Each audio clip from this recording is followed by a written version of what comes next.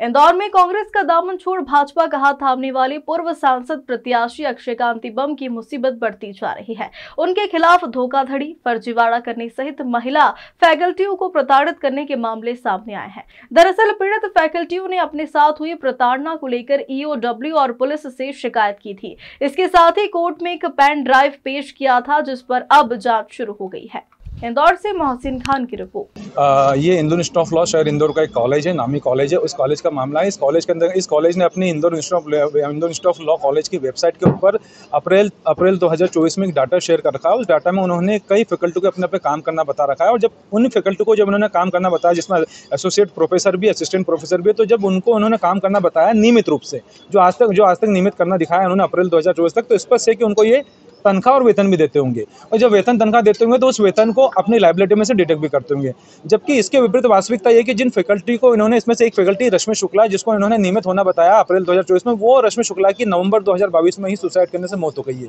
अन्य फैकल्टियाँ भी इसके अंतर्गत कई काम छोड़ के जा चुकी, कोई गुना में रेडियो और जो की बन गया है, कोई सरकारी नौकरी लग गई इस प्रकार से उक्त कॉलेज प्रबंधन ने, जिसमें चेयरमैन चेयरमैन के साथ में ही डीन डायरेक्टर डायरेक्टर के साथ में एच एचआर और प्रिंसिपल इन सब चीज़ों के लोगों की जानकारी में पूरा पूरा घटनाक्रम होने के बाद भी उन्होंने उस डाटा का गलत यूज़ करा, दस्तावेजों का गलत यूज़ करा और फैकल्टी को उसकी जानकारी नहीं दी। इन सब चीज़ों को लेकर हमारे पीडित फैकल्टी द्वारा ईओडब्ल्यू विभाग में शिकायत दर्ज कराई थी, पुलिस में भी शिकायत दर्ज कराई थी, जिसके बाद में इन्होंने वो डाटा वहाँ से हटा लिया था, लेकिन सभी पीड़ित फैकल्टियों ने उन डाटा को अपने पेंडिया में कॉपी कर लिया। इसके बाद हमारे द्वारा कल माननीय न्यायालय में जिला न्यायालय के अंतर्गत एक परिवार प्रस्तुत करा था, धोखाधड़ी, फर्जीवाड़े की धाराओं के अंतर्गत और कोर्ट को कई फैकल्टियों ने कोर्ट में बताया कि किस प्रकार से उनके साथ धोखाधड़ी हुई है, उनके साथ प्रताड़ना भी की गई है, जिस पर कोर्ट ने मामले की गंभीरता को देखते हुए इस प्रकरण के अंतर्गत पुलिस ने क्या एक्शन लिया? इस पूरी कार्रवाई पर उस एक्शन टेकन रिपोर्ट को बुलाया है और वो उसके लिए तारीख नियुक्त की गई दस मई 2024 और साथ में ही पेन, उक्त एक पेनड्राइव का सेट बंद लिफाफे में पुलिस को भेजा है।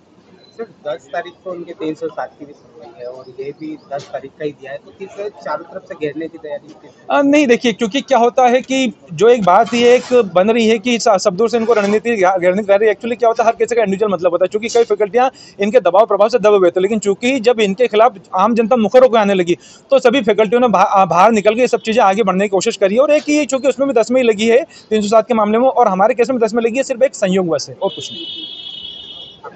कृष्ण कुमार कुन्हारे